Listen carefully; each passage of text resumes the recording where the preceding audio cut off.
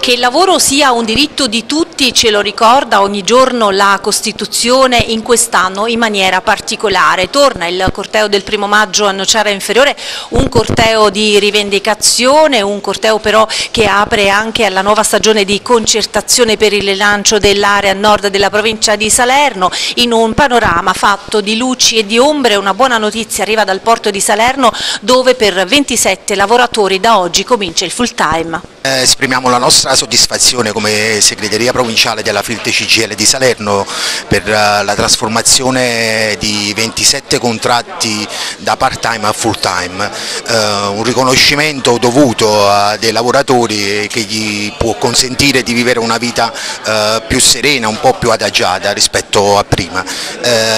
questo rientra nell'ottica della crescita del, sito produttivo del porto di Salerno, che è il porto di Salerno che eh, si conferma l'unico sito produttivo eh, a Salerno capace di produrre ricchezza. C'è tutta la soddisfazione da parte nostra eh, e soprattutto dell'azienda della Salerno Container Terminal che si conferma eh, comunque un'azienda capace di produrre ricchezza e di garantire il futuro a questi ragazzi che sono tutti giovani la maggior parte. Oggi siamo qui a marciare per avviare una riflessione soprattutto su un punto, recuperare la dignità delle persone che lavorano ma anche tentare di costruire nuove condizioni di lavoro che possano dare dignità a chi non ce l'ha. Quindi eh, questa giornata deve servirci per non rinunciare alla possibilità di nuovi investimenti che portino a creare eh, strutture produttive e nello stesso tempo a non farci dimenticare che il tempo di oggi forse ci sta facendo conoscere anche nuove schiavitù, quindi prevenire quelle forme di schiavitù nuove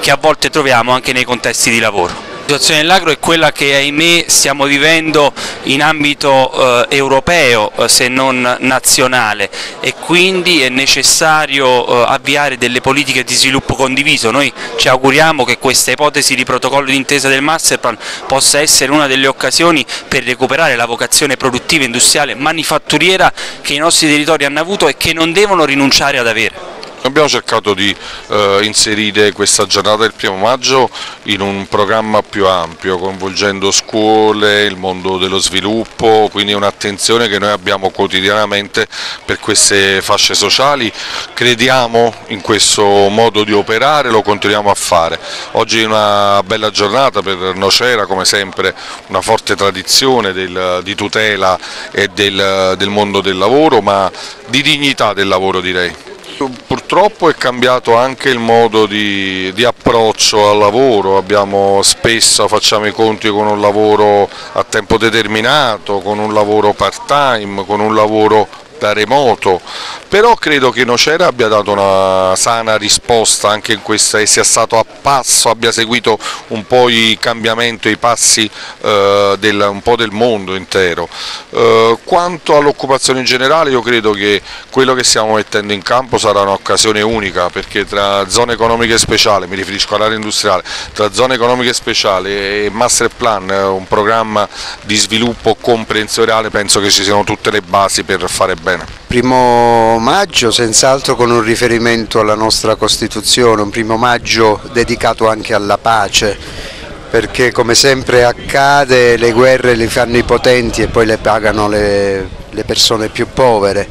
Un primo maggio sicuramente col pensiero di tutti coloro che sono andati a lavorare nella, per portare il pane a casa e che purtroppo a casa non sono tornati perché è una vera e propria strage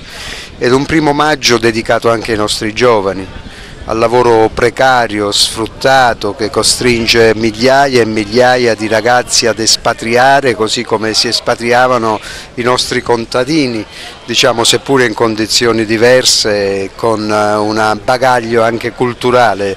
diverso. È un primo maggio dedicato soltanto alla, a quei 16 milioni di pensionati perché è un terzo della popolazione di questo paese ed in particolare ad una parte di, di questi che vivono con pensioni di 500-600 euro in mese, in Campania sono un milione e spesso oltre ad avere una pensione di 600 euro al mese quando vanno a fare un'analisi devono pagare un ticket esoso e se non hanno i soldi persino qualcuno rinuncia a, a curarsi. Ecco, l'insieme di queste cose ci fa dire che occorre un primo maggio di lotta e di riscatto e non soltanto un primo maggio di festa.